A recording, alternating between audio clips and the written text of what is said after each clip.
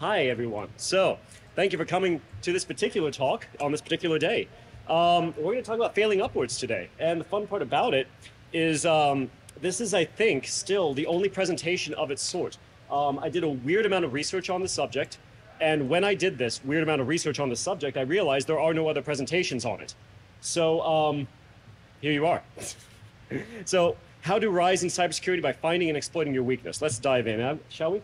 First, who am I? That's a really good question, random person. So, my name is Wes. Hi.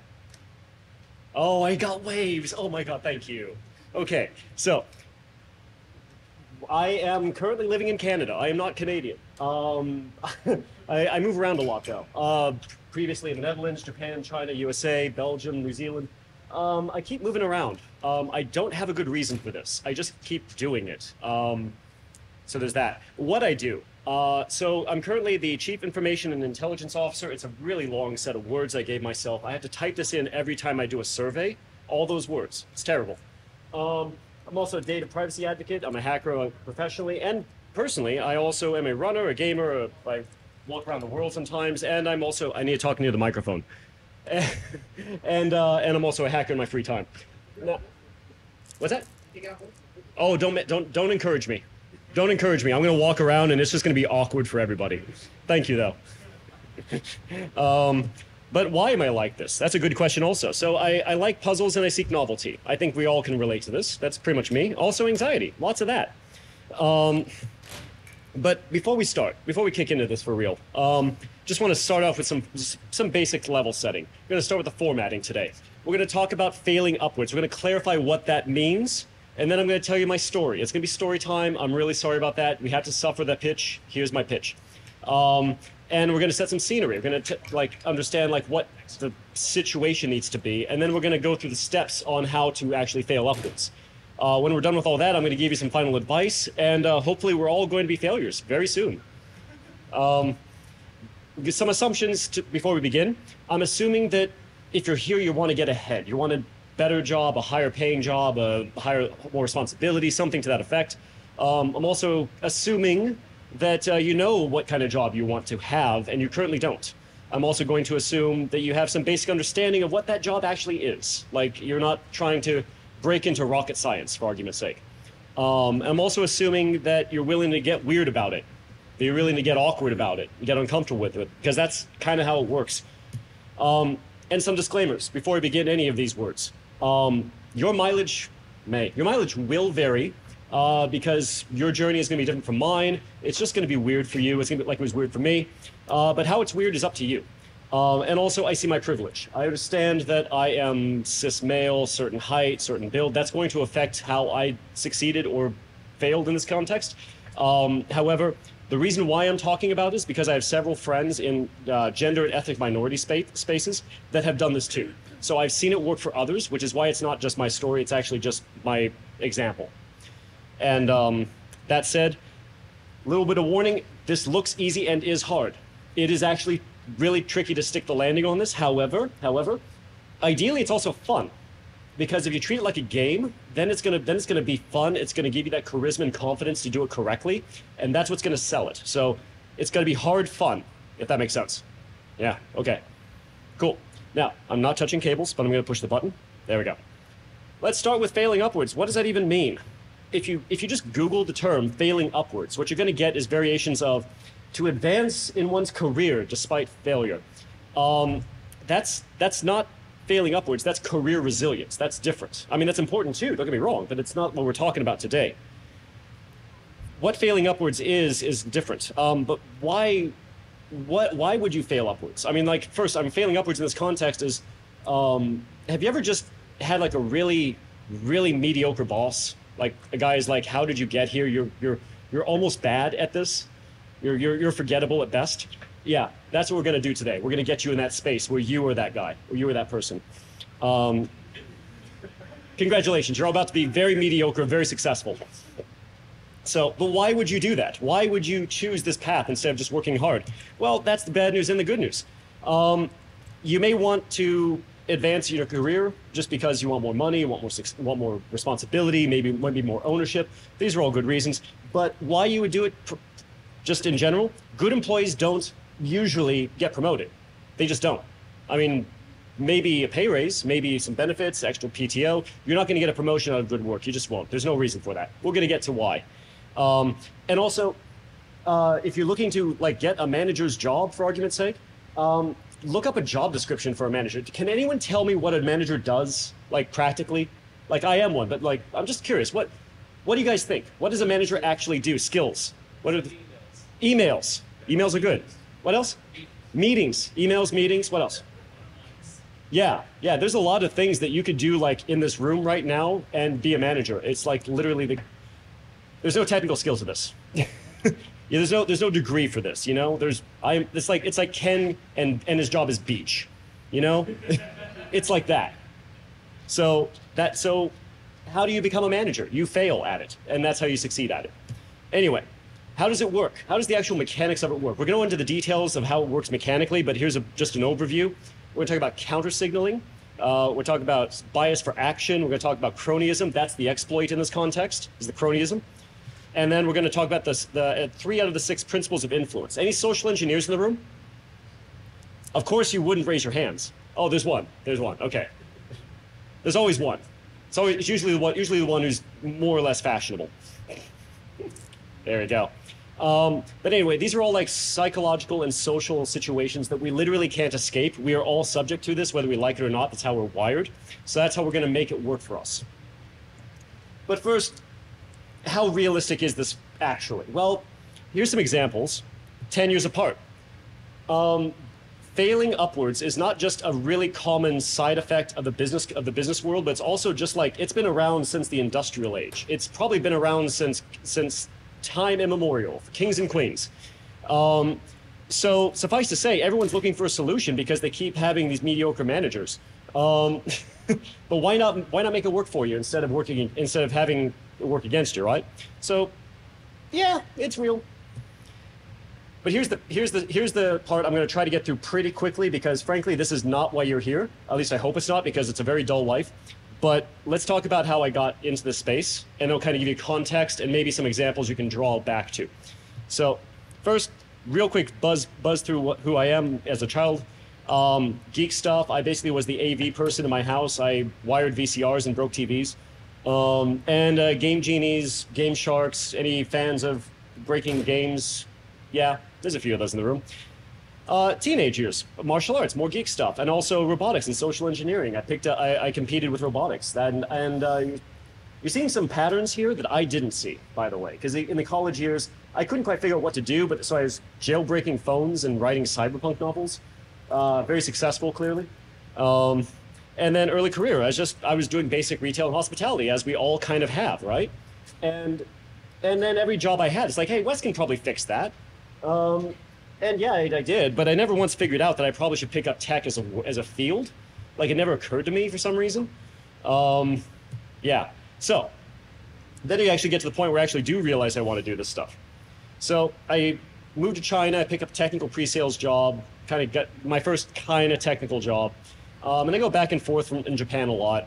And um, I was shadow IT at every company. I was that guy, right? So, um, but at a certain point, at a certain point, that's actually I, I started to make that an actual job, and so I picked up a basic IT job, and a pattern you're gonna, if you if you've known me for like five minutes, you're gonna recognize this, and that is that um, that that feeling like you you have these things that are wrong around you, and you have to no one else is fixing it, so clearly you fix it, right?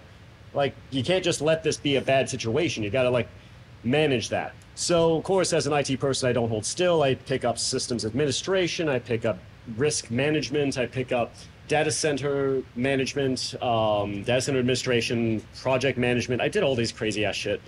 Pardon my language. Um, and then I burnt out. Learn out. Learn, lesson from that is um, just a bit of advice. If you are about to burn out, it's because you're still holding on to too many things. So just let some of it go. That should help. Doesn't solve it, but it helps. So it's the, the pattern here is basically going to be that I keep doing all this work that isn't actually my job. And then I keep getting tired. That's going to be the pattern here. So I do that again, only this time I do it in the United States for a while. Uh, cloud systems administrator, site reliability work, um, a little bit of infosec work, and here's where it actually here's where I actually got into security. Is this job?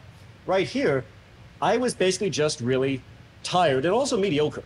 I, I was like, I am unexceptional as a man, as an engineer. I'm like truly like a beige pantsuit of a man of an engineer. You can like walk right past me and not know what I did. And so, but I'm also like tired and doing all these things I don't, I'm not supposed to. So like, hey, you know what? Why don't you just, you look tired. You look tired. Why don't you just go do that web application firewall for us? Because no one wants that. Why don't you just do that? And so that's how I got my start in security is doing the, the thing that I was I wasn't supposed to do. So um, because I was not great at the main job. So that's how kind of how it broke into security. Um, so that said, here's the actual pivot that we're going to talk about today. This is the actual important part. So, so I start off with doing some plat. So I moved to the Netherlands in 2016. No particular reason. 2016 was a good year to move away from the United States. No specific reason at all. Um, and and uh, yeah, then at that point, I'm like, that's my actual first named role is in uh, security engineer. And while I'm doing this job, uh, I realized that there is no security state to engineer on. There is no platform, there's no tooling, there's no services, there's nothing. So it became my job because, again, why would it be someone else's job when you know it could just be mine? So I build an infrastructure out of it. I build a, service state out of it. I you know I organize the tools. I set things up. I have a lot of help because I'm a mediocre engineer, right? So um, I organize all the policies. I organize all the governance and all. I, I, build like an entire thing, and I was really happy. And then uh, the new CISO comes in and is like, "Hey, you look tired. Would you like a it's like a slightly easier job where you just write the policies and do the governance on its own?" And so that's how I broke into an information security officer role. Is again doing work I wasn't supposed to, and and apparently I was better at that than the job I was actually doing. So there's a pattern here, right? And then from there, it gets really boring. This is basically once you're management, you're management. You just go to another job. It's just just ask and you'll get another one. It's it's it's that's that's less interesting. But I but at that point, I'm like I keep getting tired and doing the work of someone else, and then wind up doing that job instead, and then getting a job out of that job. And so I did that like three more times. I'm not a CSO anymore. Actually, I think that's a different title now. But anyway, um, and then I moved to Canada. Long story short. So that's the journey. Let's talk about the actual subject matter, though. There's a, there's a story here, and the story is not actually how I, how I move around or why I'm like this. The story is I keep getting tired and getting a new job. So let's talk about that. Failing upwards. How does it actually work? Let's talk about the psychology for a second. That's probably the most interesting to me personally. Counter signaling. So when I say counter signaling, what I'm talking about is is like it, think of think like a humble brag, right? It's like it's like you're saying something negative to indicate a positive, or something positive to indicate a negative. That's one of the key factors on this process. Um, we're, we're going to talk about how it connects as we get to the actual steps, but that's like one of the things of how it works mechanically on, on failing upwards. It's going to be a combination of this and bias for action. So um, I'm, I'm like a huge movie nerd, and Bruce Willis is, I'm to say, demigod level to me, give or take not anymore, not anymore, God. But like back in the 80s, when he was like on his game, bias for action. He is like Bruce Willis is actively bad at, at getting the job done. He like falls, he breaks stuff, he like he messes around, he like like stuff happens in this movie that's new to action movies in the 1980s, right? Bias for action means that you're going to be happy that he's trying, regardless whether he's successful or not. That's what we're going to do as well. Um, cronyism, though. So cronyism is a negative, and it's but we're going to make it work for us. Cronyism in this context is the idea that it's a, it's a circle that you're not a member of, or that you are a member of and others are not. So it's exclusive. That's the point is it's exclusivity. It sucks, but we're going to exploit it. How, how it exploits is interesting. Basically, if you treat this like a, if you treat this like an attack surface, then it becomes a different conversation entirely. If you look at it as cronyism is a circle of trust. So circles equal trust equals bias. If you're inside the circle, you have a natural bias for something inside the circle. Um, example, if you take your friend and you take a person next to your friend and they're like identical in every way, let's call them twins, but one of them you like, one of them you don't. You're gonna, you're gonna naturally trust and relate to the one you like more than the one you don't, even though they are literally the same person, just, you know, one, one you know, one you don't. So if you consider it in that sense, biases are completely unconscious and we can't stop it. We can't not be biased, right? So the exploit is this. Trust is an expression of time and exposure, right? Yeah. So what you do is you just need to you just need to have a force multiplier on either the time or the exposure or both, and that reduces the, the amount that and that actually gets you inside that circle. That's it's a lot it's it's a little more complicated and nuanced, but that's effectively what it boils down to. But here's the part that's really interesting: is the um, they, there's a book called uh, The Six Principles of Influence. It's a very popular book for the social engineering crowd, and it's actually just a good book to read in general.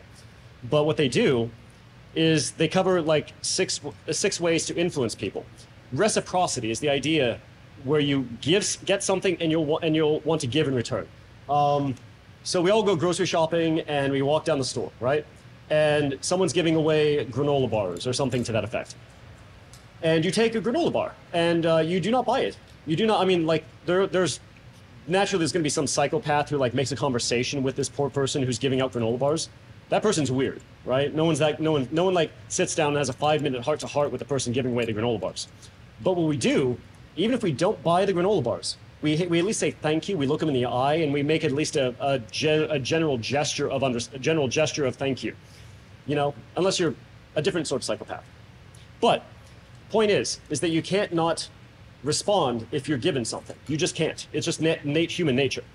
And then social proof is another factor in this. Um, so you know, there's always that, that that one person who like crosses the the street before everyone else does, and then everyone else starts to follow them. It's like that. So uh, there's always one of those people, and that's that's what we're going to talk about here as well as the social proof. Is if you get if anyone approves, that is the approval of all. And then the last thing, and I, I, really wish I could put more time on this because that would be its own talk entirely, and that's being that's being likable. Um, if you're generally a dislikable person, this is not going to work for you. You've got to you've got to be um, you've got to work on your work on your confidence and your and your charisma to make this happen. Um, I can give tips on that, but the short version is that that's a really critical part as well. That all said, that's how it mechanically works is a combination of these uh, psychological and social factors. Um, so that said, oh, by the way, um, I will give this presentation to anyone who wants it, so don't worry about taking notes. Um, there's a lot on the slide. Sorry for that. That said, let's set the scene. So, when we when I'm talking about the the circumstances in which you fail upwards, you're looking for two specific situations. You're looking for the energies of these two people. I told you I'm a movie nerd. Here we go. We're talking about Buzz Lightyear for a start, falling with style. Um, so Buzz Lightyear, I'm not sure who remembers 1975 uh, very well. I, I personally don't, but it's uh, he but like Buzz Lightyear, he like Woody challenges him like you can't fly. He's like yes I can, and he jumps off a bed, bounces on things, fly, you know, sails around on a swing and sticks the landing, and he says yeah you didn't you didn't fly, you fell with style. That's what we're looking for. We're looking for falling with style, bold, confident, and in, and bold, bold, confident, and incompetent. That's the that's one of the energies we're channeling. Second one, Peter Gibbons from Office Space. Um, now, I have to be really clear about this. Don't do crimes. Um, I mean, like, this is a really good example, just only for the first 10 minutes. So, if you really want to commit crimes, I can't help you with that, but I can tell you the first 10 minutes, though, actually, I can't help you, but just I won't. I um, Peter Gibbons is the energy we're looking for. In the first 10 minutes, he basically goes through some life changes and then has a breakdown in the office, stops working, breaks, drops his cubicle walls, and, they, and, and while everyone is getting fired, he's getting promoted. That's what we're talking about today. That's what we're talking about. That's the energies we're channeling. So, that said, before we dive into this, a couple more words on this inside managers' heads. Um, any managers in the room right now, by the way, I am so sorry for all of you. I'm so sorry. I had to pick on all of you it's going to get worse. So, um, and, and stop me if I'm wrong, but I believe we can all agree as managers we do this. From the management side, there is no reason to promote an employee. Apart from morale, there's no, there's no motivation. You're actively, you're actively dis, um, you're, active, you're actively like discouraged in some situations to promote people. Um, if you have an engineer who's good at their job, why would you promote them? why would you ever want this person to leave? You wouldn't want them to be better better at another job. You want them to be really good at the one they have forever, because then you can because then you're doing your job by them doing theirs. So there's no reason to promote an employee, a good employee ever. That's why you wind up getting better jobs when you move companies rather than inside one. So there's that. But I think the the real extra thing here is that when you do get promoted, because it does happen eventually, when you do get promoted, it's because you have shown some sort of contrast against your current role.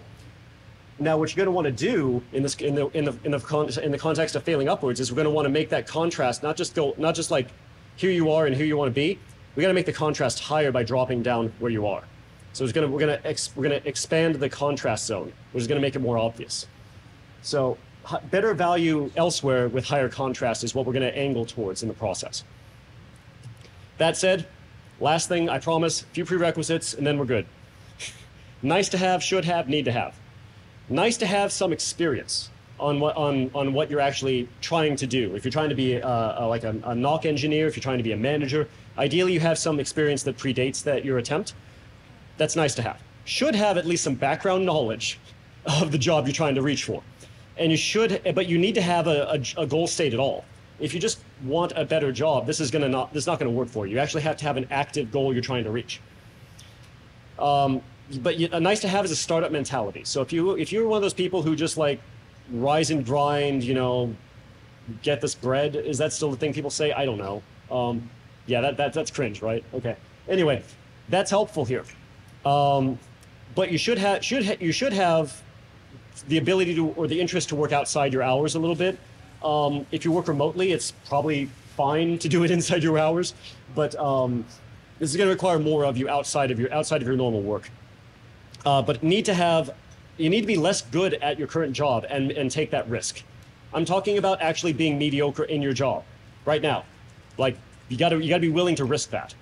Um, but you, nice to have though is a friend in high places. If you have like a, partic- a particular favorite manager of yours or some place in the NOC that you're trying to reach for, as an example, then that's going to that'll help. Um, should have though is acquaintances in high places. Hello. Hey, Oh hi.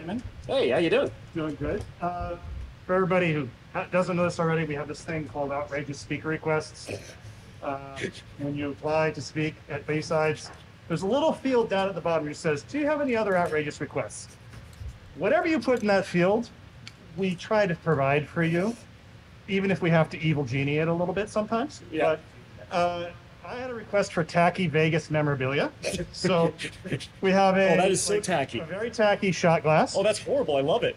Uh, I have a, uh, a slot machine pen, Oh my god. That's amazing. and I have a pair of socks that you should Great probably picture. put on before you go anywhere else. But it says, you know, it Re- brings ah. me to the casino. Oh my god, that's amazing. So, That is thank you. Oh my god, thank you so much. thank you. Oh, yeah. This is fantastic. Oh, I I am I am you're the one who you're the you, you're the one you brought me that poster last time. Yes. Oh, Yep. I, I was looking forward to you. Thank you. Thank you so much. This is so tacky. Thank you. I'm gonna put this in a place of honor right here. And I'll put these over here. Thank you. Tacky, but delightfully unrefined. Oh my god. I love BSides. Um, that is truly tacky. Okay. Um, anyway, so um, it's nice to have acquaintances in high places. Um, that's that's not that should have you should at least have an acquaintance. They should know who you are at least, right? But you need to have a high place to start off. And What I mean by that, if you're a, if you're a consultant or a contractor and this won't work for you because your company is over there. You know, you got to have a, a, an inner circle in inside your company that you're trying to reach at all, right? So that's that's the prerequisites we're working towards. That all said, here's the steps, because that's actually why you're here. Um, once you actually define your next step, and I'm just going to use the example of management for the sake of ease. Um, let's assume you're, you're all going to be managers tomorrow. This is how you go, go about it. Once you define what that next job is you're trying to reach for, you got to power down. This is where you become mediocre yourself. I mean, like, meet your job's KPIs. Don't risk your don't risk your job over this, right? But you need to start powering down. You got to start looking at this like, I got to like I think quiet quit is a word people are saying now. That's that's not quite that, that that's basically what we're trying to do effectively. You need to power down. It's okay. Don't lose your job over it. Just be mediocre at it. Um, and then the next thing is you're going to want to immerse yourself in the culture of the next job you're trying to reach. Now, what does that? Now, an example of this would be like, let's say management, for argument's sake. Um, you you want to like go to meetups or hang out with managers in general. You want to like get the use their words, like get their. There is a culture for every job. This is where you like become a member of that culture, at least in at least in a pretending sort of way, at minimum, because that's going to give you the wording and the and the approach, and kind of get inside their head a little bit. And then you got to train yourself to be more likable. Now, I have some resources I like to use. Uh, one of them is actually is a great YouTube channel called Charisma on Command, I think, and use like uh, uh, like celebrities and pop culture references to illustrate the principles of how to influence and how to and how to be popular and how to be, you know, charismatic. And um, that's what you want to do. You want to start working on that charisma. You know, any sort of self-help books. Here's the moment. And phase one is going to take a little bit of time, but it's actually probably the easiest part of this process. It's not too bad. Uh, but the goal of phase one is you're employable, but not a rising star yet. You know, it's you're not great, but you're not bad. But also, while you're while you're actively okay, you're also in the process of becoming really good in the mindset, at least, of the job you're trying to reach. Phase two is starting with this. This is this this is fast forward about a few weeks, maybe a few months, depending on your process, depending on your depending on where you're at. Uh, you're going to quietly start doing the next things work. Now, if it's management, you can do something innocuous like helping them help helping them like format it, format tables. You know, whatever help, helping them send emails, right? You know, just kind of pick up those little tasks that managers probably hate to do, and they're happy for someone else to do. And but but here's the thing: you can't be loud about it. You got to be really like just be chill. Here's where you chill because it's going to come to you back in a moment in phase three. But right here is where you quietly do the next step without permission. It's important you don't have permission. It actually is. Um, and part two is you got to make yourself familiar with the next steps, peer group, and their management. So what I mean by that, here's where you, now is where you actually start, you know, kind of like introducing yourself, talking to these people, getting them to know you. You know, it's not important that they like you don't have to you don't have to go fishing with them, you don't have to like go to the club with them, but you have to at least they have to at least know who you are. That's the hope, right? So that's the intention. And then you got and then at that point once you got steps one and two then you then you got to begin doing more of the more of the next step. Just just start phasing it into your rotation just start doing this habitually and make it normal. Make it super normal that this is something you do now. It's like why are you in the NOC? You don't work here. Eh shrug and like walk away like don't make a deal of it the goal of this is that you just seem to be doing it better at this other job that isn't yours right? From the stories I told earlier. Here's, here's, where, here's, where, here's where the lessons are. So, phase three. This is again, maybe a month, six months. It depends on how. It depends on everything. Depends on all the variables in your in your circle. But once you have convinced yourself and others, and it's important you have all that confidence in yourself, and everyone does too. Everyone knows this is just something you do. You just do this. It's fine. Invite yourself or shadow or shadow someone into the conversations and meetings that you don't belong. I mean, like, just again, be chill, be cool, just make it normal. Make it normal. Just follow a manager into the management meeting, if, as an example, right? And doing this will, this is where the, this is where that's um, what's the word I'm looking for? This is where the uh, uh, social proof comes in, because here's the trick: once you're in a room and no one tells you, no one, no one objects, you officially have permission of everybody. You officially do. You're in the circle if no one objects. It just happens. And then at that point, begin doing less and less of your current job and more and more of the one you're about to do. And this is where you actually start failing your KPIs. This is where they, you stop doing your job well and you start doing another job better. I mean, like actively, visibly. Because at step three, here's where you actually, once you've gotten into that circle of trust, here's where you express your intent to move into that role. And at this point, it's going to be an interesting situation for you because this is the point of no return one of two things is going to happen. Either they're, either they're going to talk amongst themselves, either the circle is going to consult the circle, or the circle is going to consult HR, or they're going to tell you to go to HR. If HR gets involved, you, you push too fast because they should talk to each other first. If they talk, to, if they tell you to go to HR, then you then you you've gone through phase two too quickly. So you got to, yeah, phase two builds on phase phase two is a requirement for this.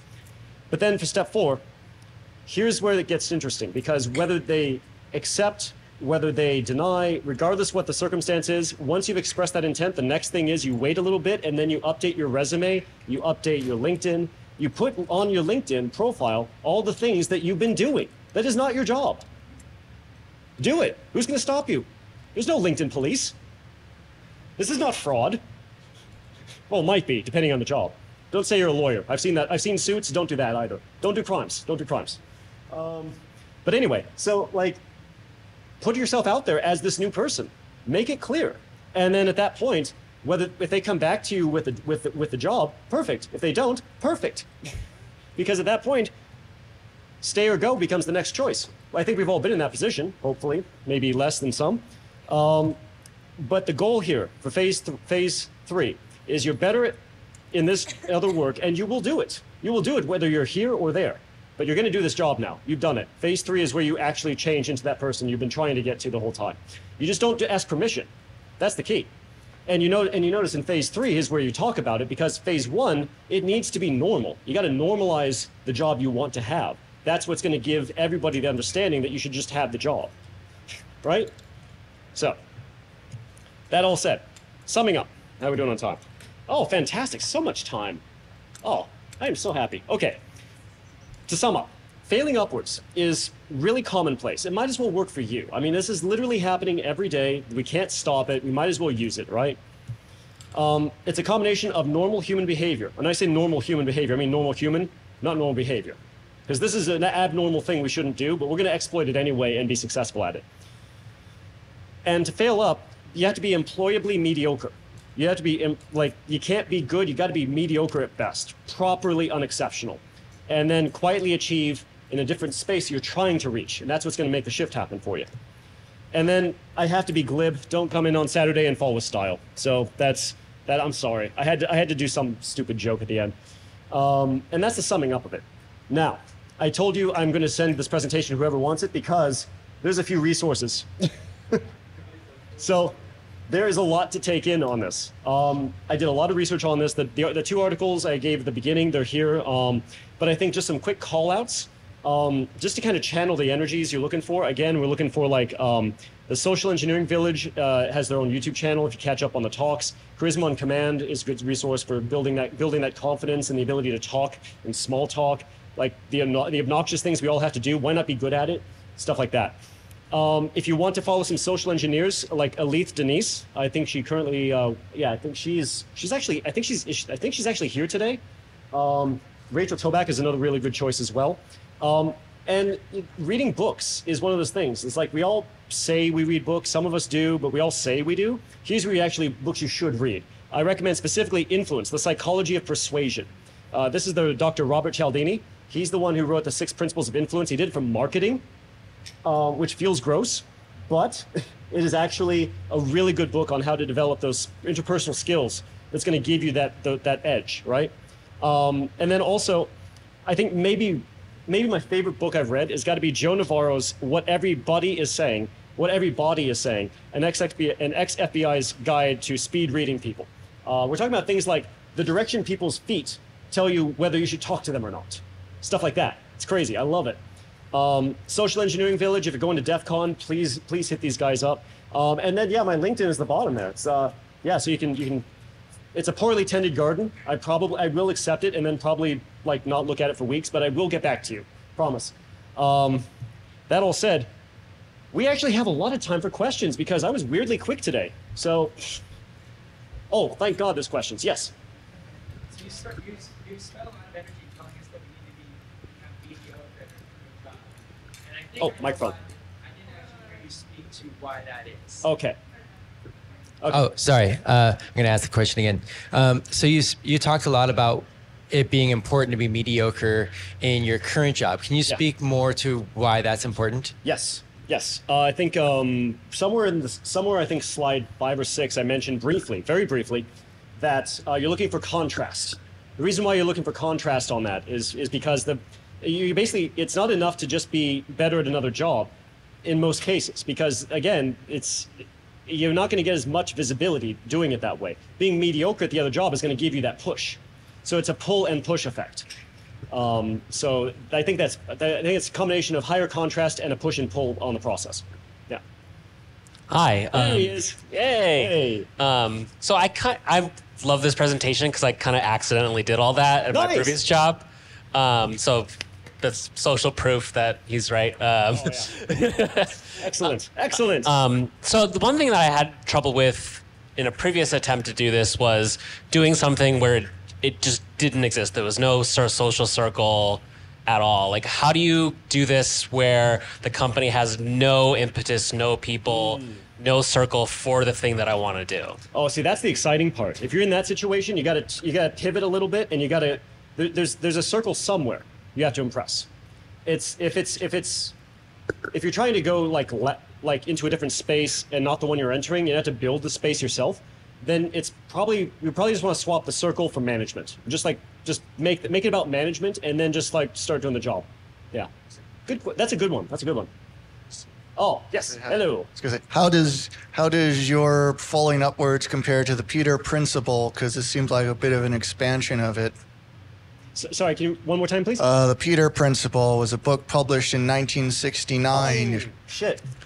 that about people rising to their highest level uh, possible, and then a bit more due to incompetence, and that's where they tend to stick. Yeah. Honestly, it is it is very much an expansion of that. You're right. Um, no, I hadn't thought of that. That's a good point.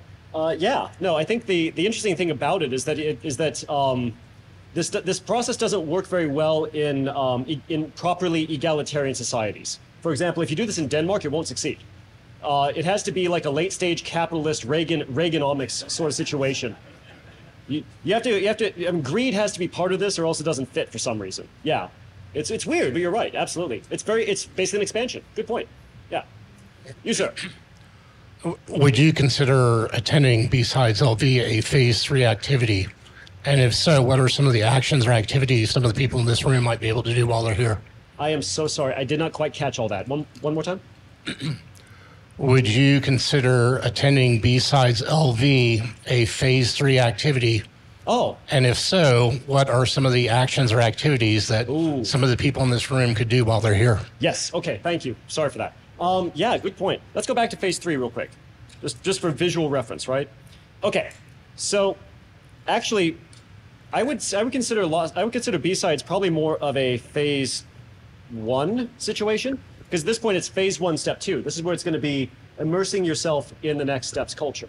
So, um, however, however, um, I know that there's some people hiring out there, so you could just bridge the gap.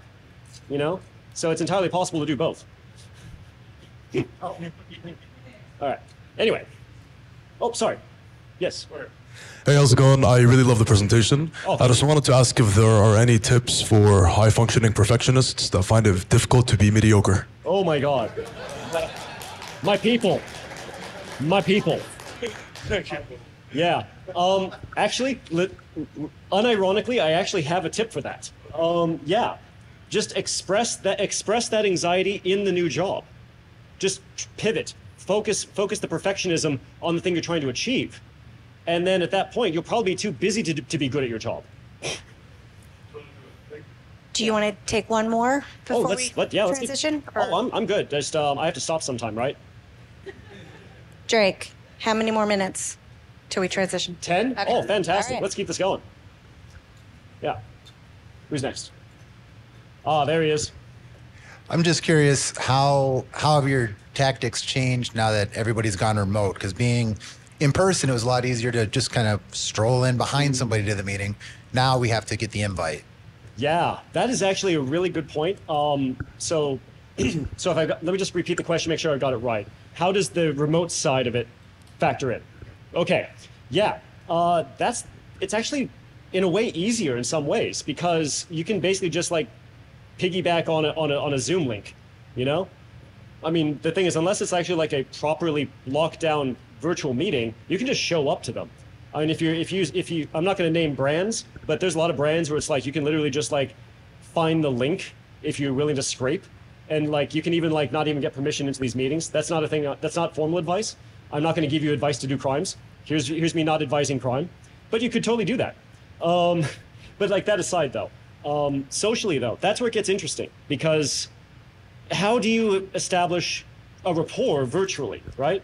Um, couple tips that I found were really helpful is um, everyone does this thing, and I think we're all guilty of this. Where we're in a virtual meeting and we all like we're all like like we can see up up each other's nose because the webcam is down here, you know, or we or we're like square on, like we're like we're like like this, and like you see like we're square shoulders, and it's it's it's a weird psychology, but if you actually pivot slightly to the side, put one shoulder back, and just kind of relax into it a little, then you're gonna you're gonna you're gonna feel more confident because you're more comfortable, and you're gonna and you're gonna look more confident because you are because you clearly feel comfortable.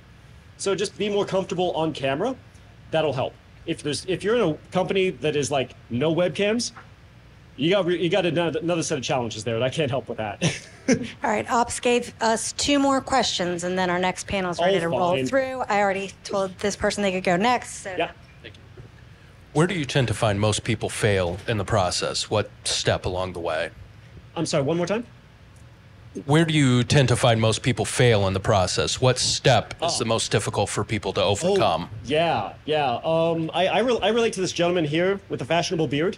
Um, you could be a social engineer with that beard, by the way. Um, so, um, I relate. So that is actually, um, I relate to his struggle specifically because I don't like failing. I don't like um, making mistakes. I really don't like being mediocre. I mean, it's it's. I, I just, my mother would be disappointed in me, right? So I can't I can't handle that emotionally. Uh, that is usually the hard part for most. Is the idea that you have to just be just be not good to be better. It's very counterintuitive. Um, so if you, it's one of those things. That's where it's got to be. You got to you got to be at peace with that, and that's that's easily the hardest part. There's no specific failure in the process. It's just that mindset that's a challenge. Yeah. Can I see the hand of someone who hasn't already asked a question? I will be here and talk to you, by the way. So d- d- d- d- our, stick ne- our next panel that I might be on is ready to set up. Yeah. How do you feel LinkedIn falls into all of this? How does LinkedIn factor in? Well, good question. Um, it's it's amazing what it's amazing what you can get away with on LinkedIn. Um, it truly is. Are you uh, are you aware, by the way? Just a, just a pro tip. Uh, GitHub has repositories of all the answers for all the quizzes. So you know those little like knowledge quizzes. You can actually like go to GitHub and find the answer sheets for them. So, you know, there's that. Um, so don't trust those quizzes, but they sure look good to HR, don't they? Um, no, the, the thing is, is that it's really just about self promotion, and the way the way this works so well. The reason why it's so successful for people, other people like I suppose like me, is that um, is that it's it's um, it, it's it's a quiet it's a quiet sort of promotion of yourself. It's like it's like it's not it's more like you get to talk about yourself, but you don't get to brag. It's just it's just a statement of fact. It's like well, let's let's talk about GitHub, right? Same story. If you have a GitHub repository, that's street cred, right? So it's like that. It's like quietly promoting yourself without actually promoting yourself. And so in that sense, that's exactly what we've got to do because the, the whole point is normalizing the job you want to have, right? So if you put so if you just like say what you're say what the job that you clearly have skills and abilities to do and you put that on LinkedIn, that just establishes you to the public that this is who you are. So yeah. And I'm I guess they're gonna take my microphone away at some point. Um, they still do they still have those hooks, by the way, from those old timey shows? Oh, five minutes? Oh sweet. Stage cane. Is that what they called? It's actually got a name. It's called a stage cane. I learned something today. Oh, okay. I learned something today. Thank you. God, BSides is so informative. Yeah, we, we're going to start setting. Okay, so I guess I'm going now. Um, but uh, yeah, just uh, hit me up after this. I'm going to be carrying around some socks and some stuff. Uh.